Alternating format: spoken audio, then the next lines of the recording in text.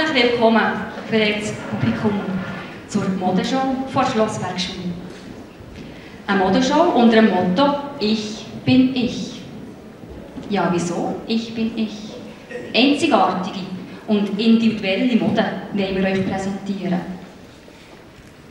Genauso einzigartig, wie nämlich jedem von euch sein Fingerabdruck ist. Keiner ist gleich wie der andere.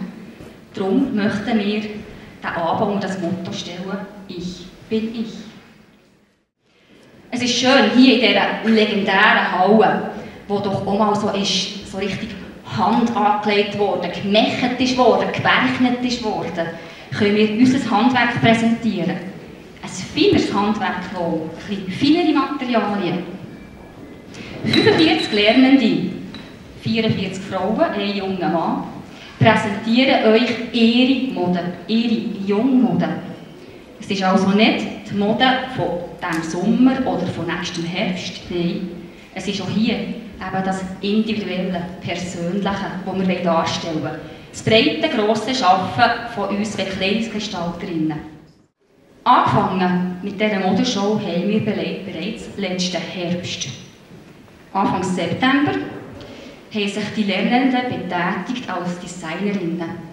Sie sind hergehockt, haben ihre Entwurfskizzen gemacht. Vorgegeben nach Themen. Die Themen haben sie vorgängig auch selber wählen haben sie skizziert, ihre Ideen auf das Papier gebracht. Es ist eben die Modezeichnung entstanden. Mit dieser Zeichnung sind wir dann auf Stoffeinkauf. Als Gesamtschule per Gar sind wir in die Ostschweiz rausgereist, sind dort, ich kann es fast nicht anders sagen, einen Stoffladen stürmen.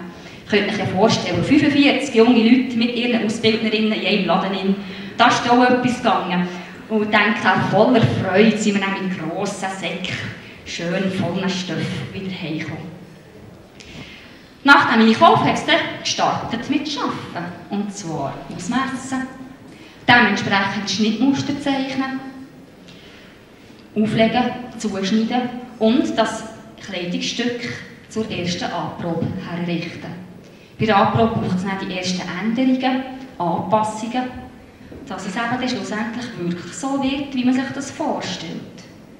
Die Ausarbeitung hat natürlich noch ganz viele Geduld gebraucht.